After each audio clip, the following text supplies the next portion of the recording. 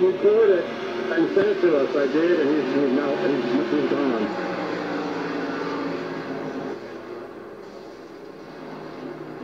Trust me, they'll kick you from open pickup cop if you screw around. Just gotta get a recording of it and save the clip. Can't.